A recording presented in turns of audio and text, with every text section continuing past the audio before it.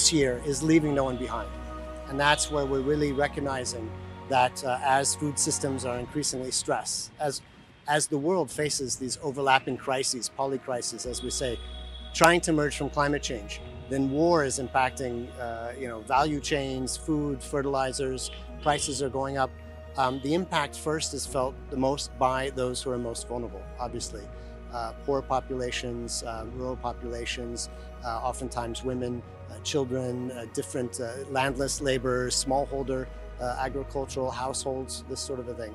So it's critically important that we ensure that we have the data and we have the systems to reach those people who are um, suffering undernourishment and lacking access. Because at the moment, uh, food availability still is not the issue. Worldwide, there's enough food for everybody. It's a question of accessibility. Now, of course, we are concerned in the face of these uh, overlapping crises, especially climate change and the impact that these you know, heat waves and, and flood events and such are having on agriculture here in India and every country in the world. Uh, we are concerned looking ahead, availability might become a problem in the next year, two years, five years ahead. So we have to prepare for that. Uh, but really, um, you know, if we scan, if we look across the world, uh, something like 828 million people are currently hungry. Um, over 100 million of those have been added just in, in uh, during the, the COVID pandemic. Uh, and this numbers just continue to increase. You know, if children don't have proper nutrition, they're not going to be able to learn. Maybe they won't even be able to make it to, to school. If women don't have proper nutrition, they're not going to be able to, uh, to, to, well, first of all, to have children who are born um, with, with, proper health status and not uh, be able to help ensure that households are achieving what they need in terms of food security and, and across the board. So food security, you know, is critical uh, for, for individuals, for households, for communities, uh, for society at, at large, for all of the SDGs. Um, again, it's now really about uh, increasing productivity where we can. In India, for example, a lot of the work that UN system is engaged in is about helping especially smallholders improve uh, productivity. At the moment, productivity on average is relatively low.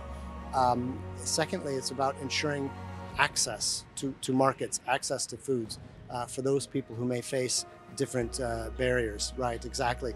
About improving the, the efficiency of, of, distribution systems, of logistics, and about changing our behaviors at, at, a, at a, fundamental level, uh, about um, eating local uh, production, about uh, focusing more on, on, consuming seasonal uh, production, about understanding those crops which are what we often call uh, superfoods, which are more climate resilient, using less water, and actually more nutritious.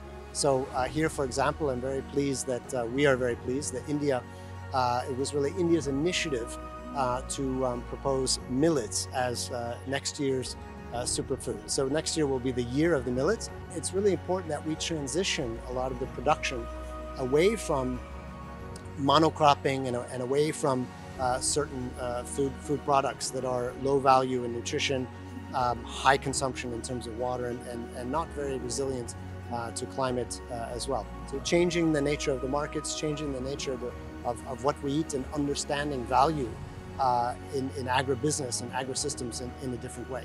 Uh, it's not just about governments, it's not just about businesses and industries, it's also about individuals as consumers uh, and the way that we can drive markets, um, changing our, our uh, consumption so that it's sustainable so that we can all thrive in the future.